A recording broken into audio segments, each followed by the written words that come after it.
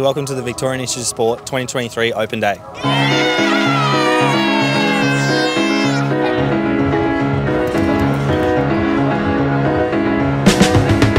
think sometimes we forget that we do train behind closed doors and it is pretty cool for people from the public, especially the kids that are all rolling in to see what we do every day and the facilities that we train in.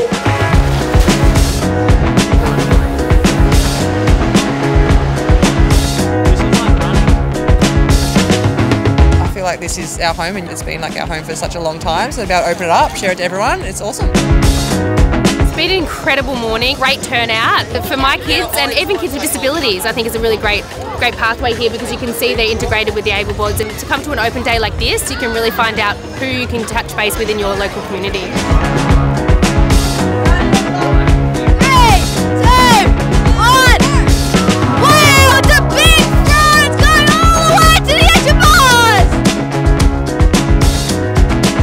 It's so cool. I couldn't believe how many people were here. After just see all the kids running around, getting tired of their parents, it's great.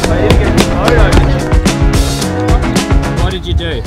Hockey, archery, hockey, sport, archery, sprint, sprint, uh, table tennis.